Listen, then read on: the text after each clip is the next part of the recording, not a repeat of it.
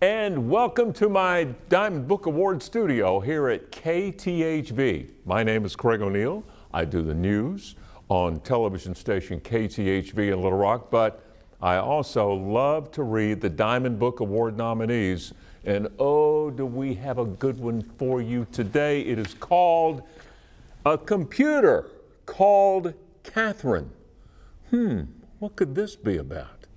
I think it's going to be about something that may inspire you. It's how Katherine Johnson helped put America on the moon by Suzanne Slade, and we want to thank Little Brown Books for Young Readers for giving us this opportunity to read a Diamond Book Award nominee. Let's join this story together. Everywhere she went, Katherine counted. She counted her steps to church. She counted the plates on the dinner table. She even tried counting the stars in the sky. Most important of all, Katherine counted the days until she could start school. Finally, at age five, she followed her brother, hundreds of steps, to the two room schoolhouse. An excellent student, Katherine devoured thick books and added numbers at the speed of light.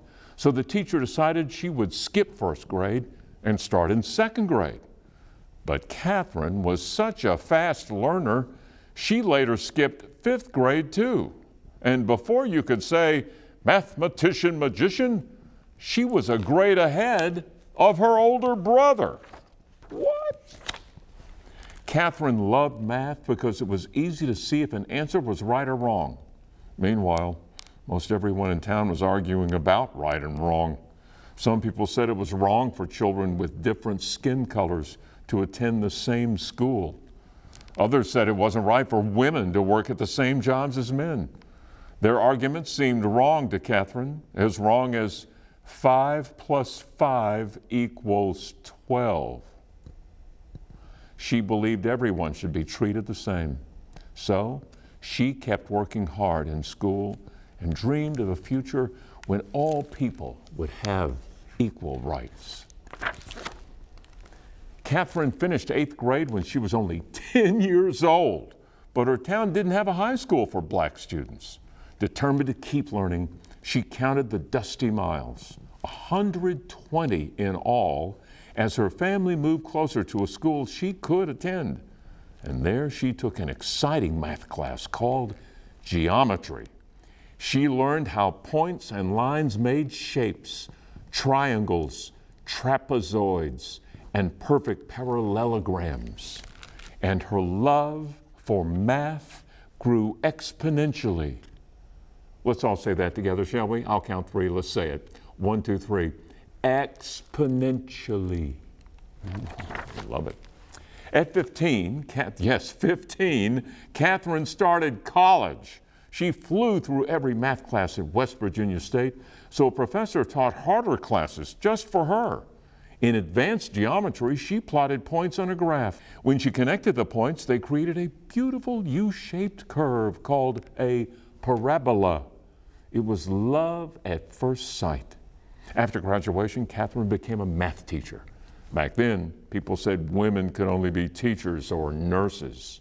Katherine knew that was wrong as wrong as 10 minus 5 equals 3. Uh-uh. She believed women could be anything scientists, lawyers, or mathematicians. So she set out to prove it. Katherine discovered a research center in Virginia that was hiring women mathematicians. They were called computers because they made calculations that helped the men engineers design airplanes and flight plans.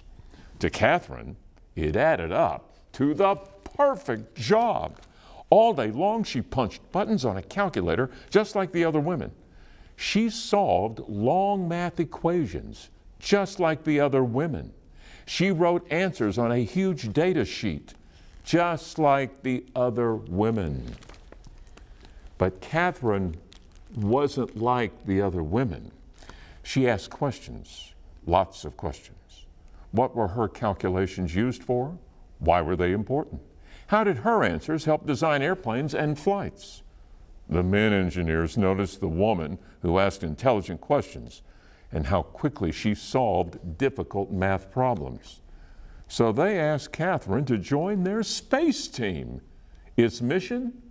Send America's first astronaut into space. Katherine said yes.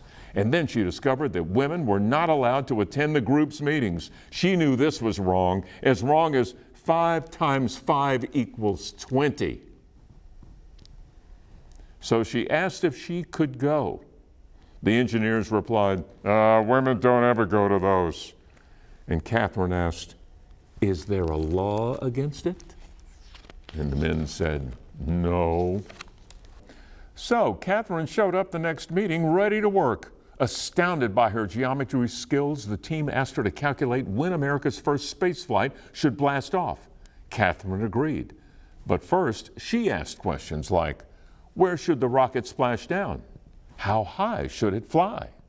When should it land? With that information, Katherine carefully computed the rocket's flight path, a beautiful U shaped curve. Next, she worked backward to figure out the time it should blast off. And then she began counting the days until launch. On May 5th, 1961, Alan Shepard blasted off. Following Katherine's flight path, he soared into the silvery sky. Fifteen minutes later, he splashed down in the Atlantic Ocean right on schedule and right on target. Soon, America began dreaming of a longer flight around the entire Earth. To figure out the math for this long, complicated trip, engineers decided to use their new room sized computer that worked much faster than people but astronaut John Glenn trusted Katherine more than a machine. He wouldn't step one foot into that rocket until she said the computer's calculations were correct. Happy to help, Katherine checked every number. On February 20th, 1962, John Glenn became the first American to orbit Earth. Then people began wondering if an astronaut could travel all the way to the moon. But the Soviet Union and the United States wanted to be the first to land there and win the space race. Katherine knew this flight was incredibly long and dangerous. Every calculation would have to be perfect. One math mistake, and that rocket would zoom right past the moon. As NASA's computer hummed and computed a flight path to the moon and back, Katherine went to work too, double checking the machine's calculations. But this was the most complicated geometry problem she'd ever seen.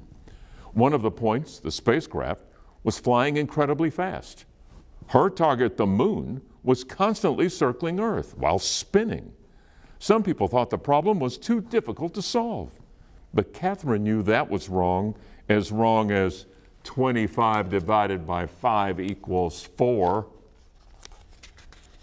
She calculated and computed. She plotted and planned. She created a bold, brave path all the way to the moon and back. 10, 9, ignition, sequence starts. Heart racing. Katherine leaned close to the small television screen. Seven, six, Five. She held her breath as powerful flames exploded on the launch pad. Four, three, two, one. Lift off. The rumbling rocket slowly rose above the ground, above the smoke, above the clouds, and then disappeared into ink black space. Four days later, as Neil Armstrong took his first steps on the moon, Katherine smiled and began to count. The end. But not quite the end because in the back of the book, there are some pictures. If you get a chance to ever check this out of the library, there is the real Katherine Johnson, some of her calculations, and congratulations. What a story. And it's all true. And this is true too. We're voting on the Diamond Book Awards listen to or read at least three of the 10 nominees and then vote coming up in May. We'll see who wins the 2022 Diamond Book Award. Thanks for watching. We'll have more on this Diamond Book channel.